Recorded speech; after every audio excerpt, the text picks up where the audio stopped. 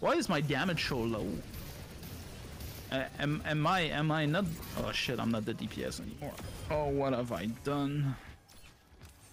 What have I done?